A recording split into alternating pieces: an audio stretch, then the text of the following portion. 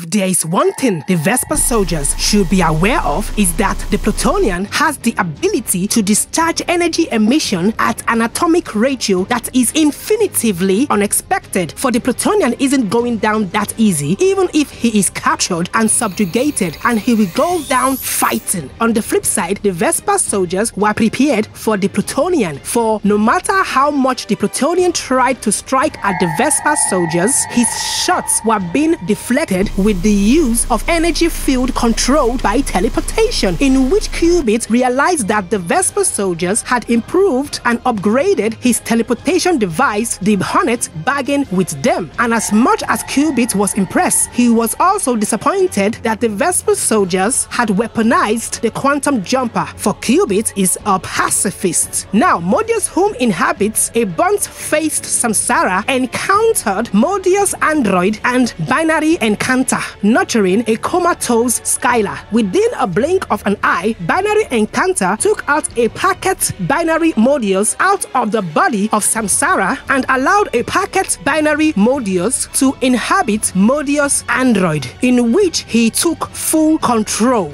While the Vespah soldiers were attacking the Plutonian from all sides like he is some kind of wild beast, Qubit decided to communicate with the commander or the captain of the Vespah soldiers. At first, they couldn't understand each other's verbatim. In his geniosity, Qubit created a communicating device which helped in getting through to the commander of the Vespah soldiers communicatively told Qubit that they were not here for Earthlings, except one, which is the Plutonian. So Qubit asked a very important question, which is when the Plutonian had been apprehended by them, will they take advantage and turn on Earth? Immediately and repetitively, the Vespah soldiers replied that they are beings of honor, that as much as they are invaders of planets, their honor is more important to them, for their deal with the Hornet is sealed and stamped. Then Qubit warned them that he hopes they have a better plan in capturing the Plutonian, for the Plutonian is not at this time using one one thousandth of his strength at the moment, for they do not want him in full blast, which is true, as the Plutonian goes supersonic on the Vespah soldiers, ripping and tearing through them like tearing through paper, which shook the ground that the Vespah soldiers were standing on, as Qubit ordered Kaidan to invoke all the spirits of those whom had died at the hands of the Plutonian, whom was ripping the Vespah soldiers to shreds. As our hero survivor used his energy force to pull and restrict the arms of the Plutonian from behind, as Kaidan invoked all the spirits of those whom had died at the hands of the Plutonian to take their revenge on him, as he was stampeded by the spirits of those he had killed, and he was pummeled and beaten down almost to the point of incapacity. Beforehand, the Vespah soldiers, while attacking the Plutonian, had taken a piece of his skin graft in which they cloned and created a straight jacket to withhold the Plutonian. At this point, the Plutonian was overwhelmed, too weakened to fight back as he was strapped in the straight jacket made from his skin. But the Plutonian wasn't having none of it as he ripped the straight jacket to shreds, freed himself from their grip,